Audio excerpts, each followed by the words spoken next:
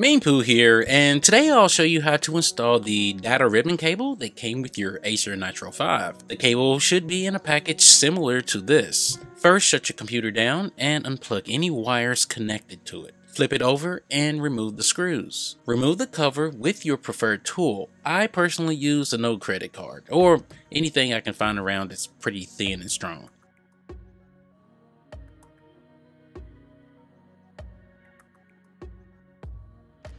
Once the bottom cover is removed, unplug the battery cable before going any further to help prevent any potential problems.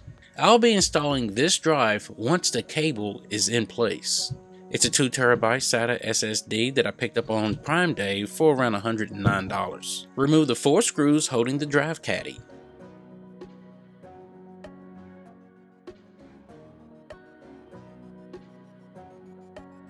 Carefully lift the flap located here.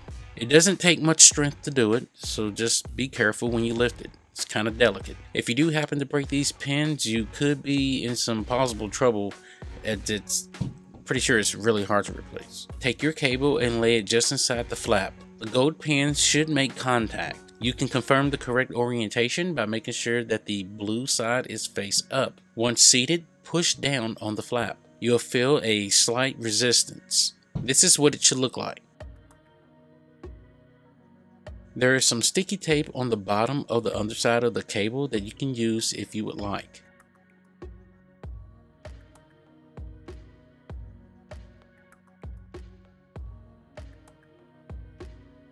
Next, I'll get the caddy and put the drive in position.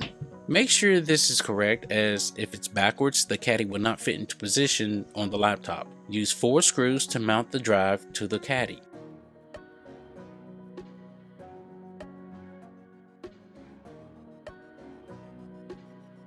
The drive that I have did not come with screws, so you will need size M3 by 3. Before mounting the caddy, I will make sure that the connector will fit correctly.